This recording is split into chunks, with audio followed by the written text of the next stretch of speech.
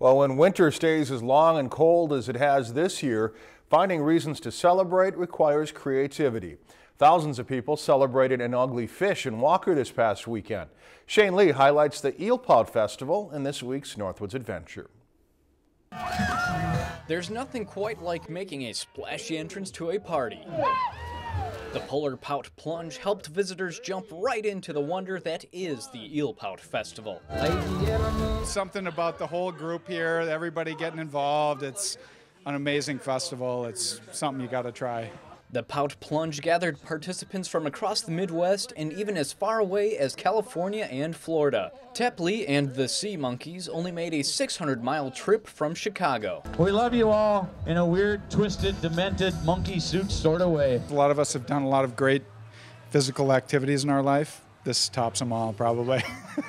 30 teams totaled 115 plungers who raised about $25,000 for the Walker Area Community Center. Donating the money felt a lot better than the icy cold water. I actually felt my head go underwater. It was okay, it was exhilarating. Getting out was scary. Get set, go! People who wanted to stay dry could throw an eel pout in the water instead at the Eel Pout Derby. The fish actually make pretty bad racers. Oh no! These ones have been racing here for over an hour, so they starting to tire out a little bit. they ran a lot of races, so and they're getting cold. They've been sitting out here, and they're, the ice is the water's starting to freeze up. Come on, baby! The Eel Pout Derby is not for the casual race fan. Every run places everything on the line. The loser has to kiss the fish. I didn't race the pout and I don't have to hold the thing, but to get into the spirit, I will be kissing a pout, so here we go. Oh yeah, that is slimy and cold.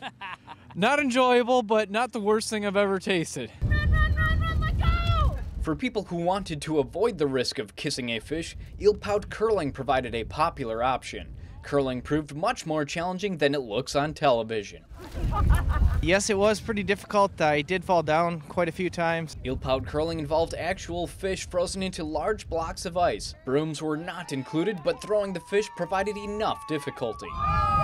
The way I did it was I just based it uh, on my release point and then just pushed it as hard as I could from there. Whether people plunged, raced, or curled, they will never experience anything quite like the Eel Pout Festival. Shane Lee, Lakeland News.